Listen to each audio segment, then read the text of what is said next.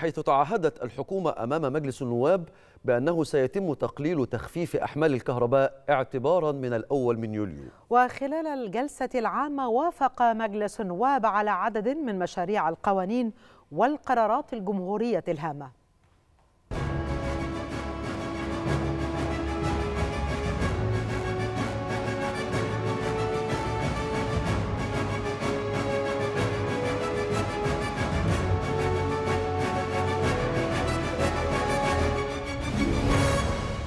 جلسة جديدة لمجلس النواب برئاسة المستشار الدكتور حنفي جبالي واصل خلالها مناقشة عدد من الموضوعات المدرجة على جدول أعماله. الجلسة بدأت بإلقاء عدد من النواب لبيانات عاجلة حول مشكلة استمرار انقطاع الكهرباء على مستوى الجمهورية، ومن جانبها تعهدت الحكومة بتقليل تخفيف الأحمال بقدر الإمكان اعتبارا من أول يوليو المقبل. وخلال الجلسة وافق المجلس من حيث المبدأ على مشروع قانون مقدم من الحكومة بتعديل بعض بعض أحكام قانون إنشاء المحاكم الاقتصادية الصادر بالقانون رقم 120 لسنة 2008 على أن يؤجل أخذ الرأي النهائي لجلسة مقبلة. تأتي أهمية هذا المشروع فيما تضمنه من تعديل النصاب القيمي لدوائر المحاكم الاقتصادية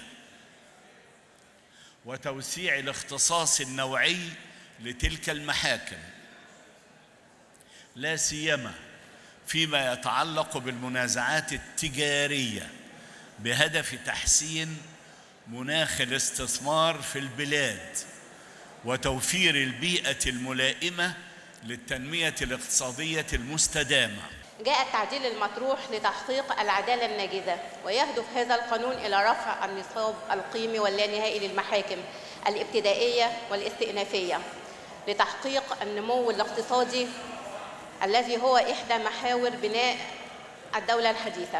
كما وافق المجلس على قرار رئيس الجمهورية رقم 471 لسنة 2023 بشأن الموافقة على الاتفاق مع البنك الآسيوي للاستثمار في البنية التحتية لتطوير خط سكة حديد أبو قير بالإسكندرية وتحويله إلى مترو كهربائي. بشرى سارة لأهالي إسكندرية خاصة قطر ابو قير كنا بنشوف مظهر غير آدمي من تكدس المواطنين من معرض حياتهم للخطر فمشروع اتفاقية القرض الخاص بتحويل قطر أبو قير إلى مترو كهربائي أعتقد طفرة في اسكندرية وأتمنى مزيد من المشاريع الخاصة باسكندرية. وهكذا يواصل مجلس النواب مهامه وأداء دوره الرقابي والنيابي لصالح الدولة والمجتمع.